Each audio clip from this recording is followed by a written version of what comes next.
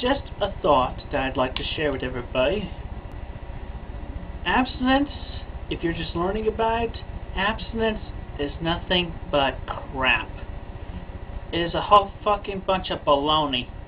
In fact, if I had the opportunity, I would, if I was in an assembly, I would stand right up in my chair and I would say, fuck up, fuck abstinence. Shout right to the choir. I mean, because if you got abstinence, then what, then what you get?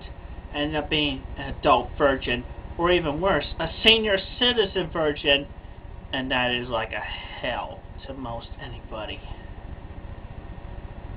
And you can tell them that I, Christian Weston Chandler, provoke you to say, FUCK ABSTINENCE! Updates are to come on the Wikipedia soon and do not buy any of the quote-unquote books anywhere on the internet because I have not approved of any such books. And I'm not getting a dot, and I'm not seeing a penny out of that.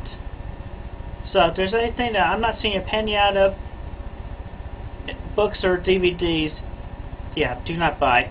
Otherwise, with like you know dolls, toys, backpacks, what that sort of that sort of small thing, yeah, that's fine. That's okay. I'll prove that. Anyway, everybody else, have a good day.